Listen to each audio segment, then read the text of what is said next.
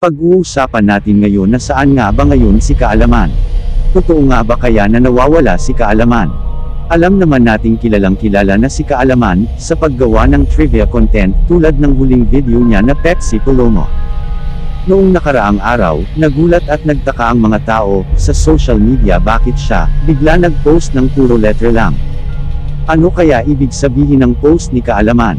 Bakit siya nag-post ng puro letter lang?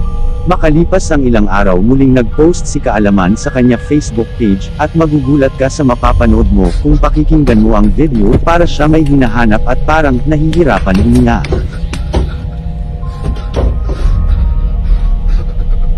Makikita sa My Day ni Kaalaman ang ibang larawan na may marka ng dugo, dugo nga ba talaga, ang nasa larawan? May mga nag-comment sa Facebook page ni Kaalaman na ang letra na pinost ni Kaalaman ay may ibig sabihin at ang iba ay ni-decode pa ito para malaman kung ano nga bang ibig sabihin ng mga letra na pinost ni Kaalaman. Kung ako ang tatanungin, kung may isang tao na humihingi ng tulong, hindi na niya kailangan mag-post ng code, direkta na niya sasabihin ito, hindi na siya gagamit ng sign, at kita naman nakakapag-post pa siya pwedeng siya yung nag-post o ibang tao. Subukan nating decrypt ang letra na ni-post ni Kaalaman kung may lalabas nga ba na information sa mga hindi nakakaalam ang letrang nilabas ni Kaalaman ay tawag na cryptography. Ang cryptography ay the art of writing or solving codes, ginagamit para maitago ang totoong nilalaman nito. Decode natin ang cryptography ni Kaalaman.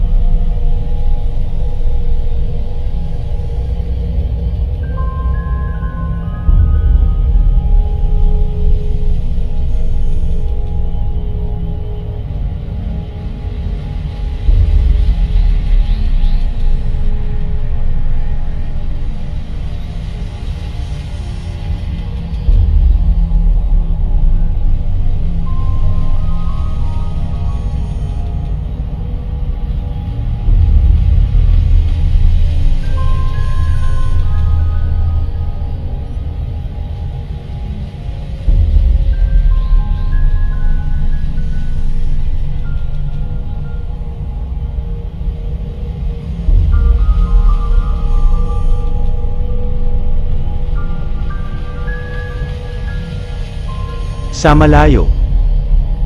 Makikita. Cryptography. Ang kasagutan. Ngayon kayo na humusga sa mga pinakita ko kung nawawala nga ba talaga si kaalaman o isa lang itong twist o palaisipan sa atin ni kaalaman.